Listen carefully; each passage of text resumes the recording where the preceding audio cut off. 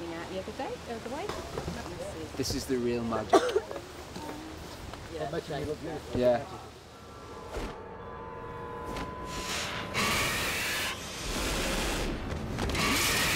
Visual effects is actually quite a big part of Merlin. I mean, one, it's a show about magic, and uh, you know, obviously, we have to help create a lot of that. Um, we've got some quite major CGI creatures which we're doing in the show. One of them being a dragon. It's quite a big deal, really. Obviously, you can't direct a CG creature on the stage as well as you can an actor. Yes. Things didn't quite go according to plan. I mean, they did, except it wasn't Arthur who wielded the sword. It was Uther. Well, at the moment, we're on the Dragon set, which is uh, a set that we've built to kind of go all through the series. Now, the Dragon is obviously it's quite a main part of the of the series. He's he's almost one of the stars of the show. He's Merlin's advisor and like you know mentor in a way. Very important character to get right. So we spent a lot of time developing the Dragon. It's in fact it's been in development for about a year. It's a great opportunity, creative opportunity for us to um, show our designs um, as a visual effects department because most visual effects departments don't get the opportunity to create their own creatures. And action! My job on set, I have to, in my head, I have to understand where the creature's going to be, how it's going to react. You know, because when you've got a complicated sequence where Bradley, who plays Arthur, is having to fight off an invisible creature, really. I mean, he's, he's on set, and we're, you know, having, we direct him in a certain way to say, right, the creature's this big, you're going to be, you know, waving your sword at it. The whole process of the series, um, we're working on it for, I think we've got about six or seven months. In fact, no, we've got a lot shorter than that. They first mentioned doing a talking dragon, and we said, yeah, we bit their arm off uh, when they said that, because if you're working in this business, that's the kind of thing you really want to be doing. It's an extremely difficult challenge to make a dragon talk, because while we've done other talking characters uh, with the bespoke facial tracking system that we've invented over the last few years, they'd normally been sort of humanoid figures. You can make a chimpanzee talk because you can track uh, the facial expressions of an actor onto uh, a chimpanzee or a monkey, for example, because it looks vaguely humanoid. But a dragon is quite a hard one to make talk. They weren't quite convinced that we were going to be able to pull it off. Um, and in the end, we had to mock up a test for them to show them it was going to work, it was worth investing. You know, there's a little tiny bit of you when you say you can do something, and you're pretty confident that you can, but uh, not until you see it yourself are you uh, relaxing, as it were. What they've done is, which is fantastic, is they've actually mapped John Hurt's face with dots. And so when he talks, they're matching the dragon. So while it is, you know, CGI, it is, if John Hurt was a dragon, this is what he would look like. Favorite magical skill? I've got quite a few. Often I won't get a chance to see the payoff of, of what, what, what I'm doing until all the CGI and special effects have been added in. One of my favourite bits has been uh, creating a fire that, that shoots across the ground that burns a knight. And that's pretty fun to do because because I could actually see it happening. Whereas a lot of the times whenever I do magic, I'll be doing it and I have to kind of imagine what it's doing. Uh, we are in uh, Pierrefonds in, in northern France, and uh, behind me um, stands stands well Pierrefonds Castle, which we've now adopted as Camelot Castle. Not everybody sort of gets to turn up at work uh, first thing in the morning and be greeted by that. For the basis of the work that we're doing, it creates this world without us having to do too much work ourselves because it's already there and it's very inspiring. Great. Five, take one.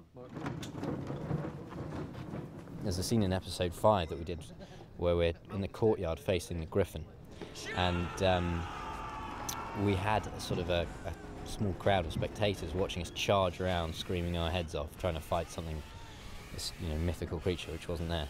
And it's sort of it, it gets the adrenaline pumping and you know gets you sort of ready for the scene.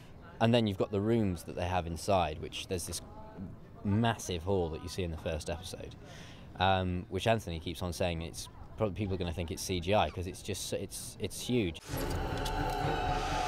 For! The, the most exciting thing for me, I think, has- has been the, the sword fighting. It's just quite enjoyable to sort of work on these routines and, and then bring them to life. And it's kind of like being a big kid with a with a toy sword.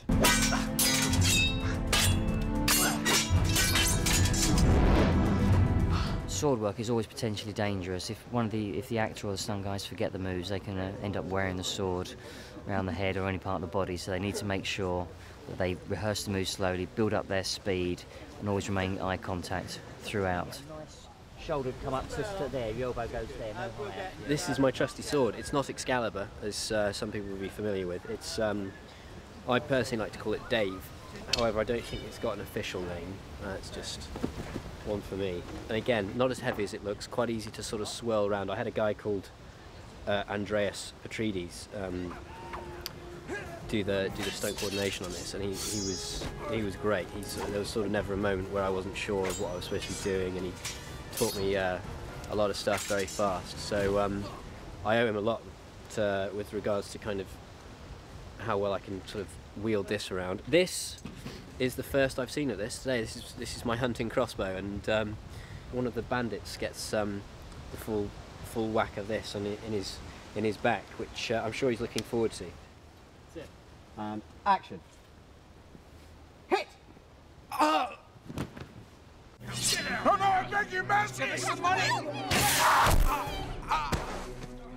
Oh, I do. I do all my stunts in in the show. Um, yeah, yeah. I'm doing doing my own stunts. Um, there's been um, a previous scene with uh, with the rabbits.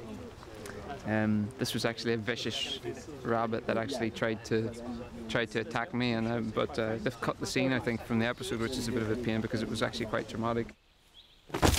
What is it? You really are a total buffoon, aren't you, Merlin? No, I was being serious. I really do save save the day really in this scene. Um, it's really all down to me.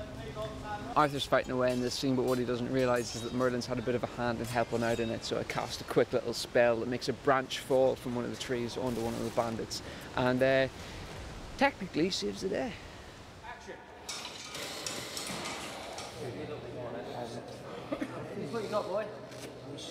Careful, coming down, coming down. There you go. Lovely, thank you. Okay, mate. This is the Fairy Elder makeup, and it's a silicon prosthetic makeup. Yeah, we're just in the process of uh, applying it and gluing it all down. He's going to be suspended on wires, and uh, part of him is going to be uh, computer generated, and uh, so we're just sticking on the prosthetic makeup at the moment. Uh, well, it's taken about four weeks to build the thing, sculpt it, mould it, make all the pieces, and then it's probably going to take us about four hours uh, to glue glue the whole makeup on in, in total. I'm thinking this is going to be my look actually. I think this is going to be my new publicity shot as well. Now I'd like to rehearse the exit. Action! the effects that are being put into this, the the actual look of the show, the way it's been created, this world, I think is extremely intriguing. Um, as well as the characters, I think the actual journey of the characters is something you want to follow. I think by the time you finish watching episode one, you think, what is going to happen next? I was very excited to get to do my first stunt because it was my first stunt on this show, first stunt ever, um, really. so whenever they were linking me up, I was well excited about it. And, um, but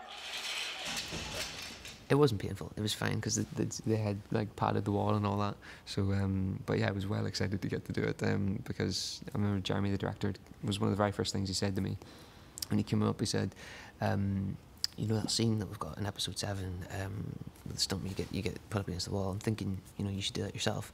I was like, "Yeah, I want to do it, definitely."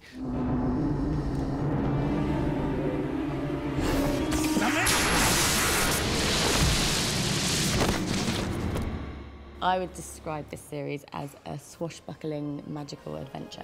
It's just magic. I think everyone's going to love it. 100%, it's the magic.